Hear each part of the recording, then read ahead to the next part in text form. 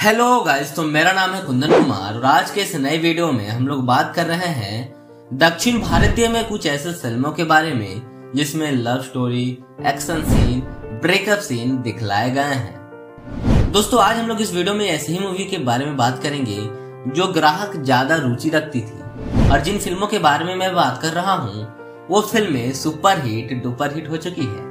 तो चलिए बात करते हैं इन फ़िल्मों के बारे में, जो आपको देखने के बाद काफ़ी ज़्यादा मज़ा आने वाला है। तो चलिए स्टार्ट करते हैं इस वीडियो को। जो पहले नंबर में फ़िल्म आ रही है, उस फ़िल्म का नाम है फिदा। यदि आप साई पल्लवी के अभिनय का आनंद लेते हैं तो फिदा आजकल देखने के लिए सबसे अच्छी रोमांटिक फ़िल्म है। वरुण और साई पल्लवी की एक अद्भुत प्रेम कहानी है, जिसमें वरुण को अपने भाई की शादी के दौरान भानुमति से प्यार हो जाता है। कई उतार चढ़ाव के बावजूद, अंत में वे फिर से एक हो गए और खुशी खुशी रहने लगे। अब जो दूसरे नंबर में फ़िल्म आ रही है, इस फ़िल्म का नाम है the super Khiladi three.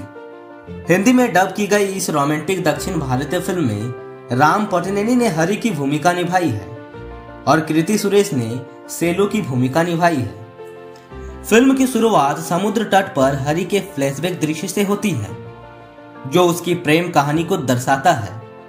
पूरी फ़िल्म सेलू और हरि के अवश्यनीय प्रेम कहानी को दर्शाती है।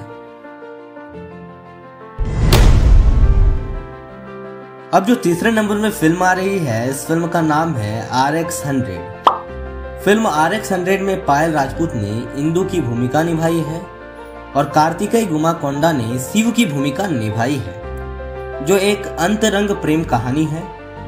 ये कहानी शिव की इंदु से प्यार में पड़ने की सच्ची कहानी पर आधारित है। आगे चलकर उनमें एक दूसरे के साथ घनिष्ठ मित्रता विकसित हो जाती है।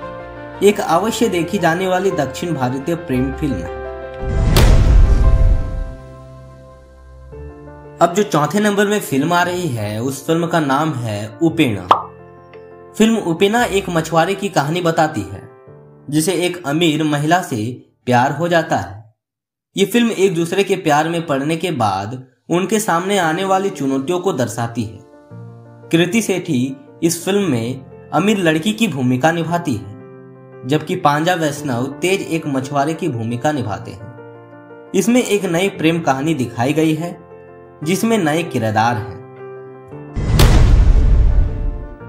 अब जो लास्ट पाँचवें नंबर की फ़िल्म आ रही है, इस फ़िल्म का नाम है झूठ।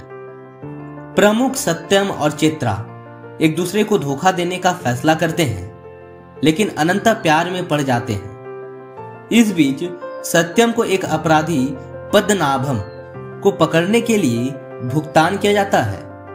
ये फ़िल्म अप्रत्याशित उतार चढ़ाव के साथ साथ अब तक देखे गए कुछ बेहतरीन एक्शन दृश्यों से भरपूर। है तो बस दोस्तों, वीडियो में इतना ही था। अगर आप लोगों को ये फ़िल्में देखनी है तो जितनी भी फ़िल्में मैंने बताई, ये सारी फ़िल्में यूट्यूब में अवेलेबल है। आप चाहेंगे तो इस फ़िल्मों को यूट्यूब के द्वारा भी देख सकते हैं। और अगर आप लोगों को ये फ़िल्में नहीं मिलती है तो मैं आप लोगों को डिस्क्रिप्शन में एक लिंक प्रोवाइड करवा दिया हूँ। वहाँ से आप जाकर इन फ़िल्मों को देख सकते हैं। दोस्तों, अगर आप लोगों को ये वीडियो पसंद आया तो इस वीडियो को एक लाइक करिए, शेयर कीजिए और चैनल में नए हैं तो चैनल को सब्सक्राइब कीजिए। तो ठीक है दोस्तों, मिलते हैं अगले वीडियो में। तो तब तक के लिए धन्यवाद। Yeah.